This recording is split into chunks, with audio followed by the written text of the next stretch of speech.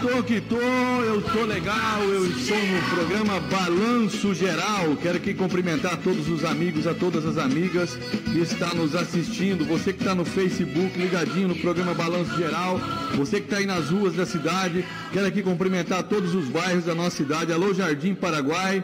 Alô, Jardim Alvorecer, né? Quero mandar um abraço para todo, para Pronave, o Grande Maracanã, Rua do Bugre, enfim, né? São Raimundo, Imperial, a toda a nossa Barra do Bugres, boa noite, né? Eu quero aqui é, cumprimentar os amigos do Facebook, né? Quero aqui cumprimentar os amigos do Facebook que estão nos assistindo. Boa noite a todos os amigos do Facebook. Começando mais um programa Balanço Geral, né? Aonde eu agradeço a Deus, né? Primeiramente a oportunidade de estar aqui mais uma vez falando com vocês. Alô, meu amigo Vitor Menegatti, né? Fátima Alves, né? Olha, no programa de hoje é o candidato que foi convidado para estar no programa, candidato a prefeito, doutor Divino, né, para falar sobre o plano de governo, né, se for eleito prefeito do município de Barra do Bugres.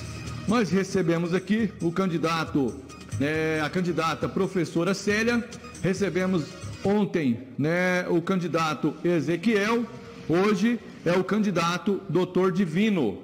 Sexta-feira, né, é o candidato Raimundo Nonato.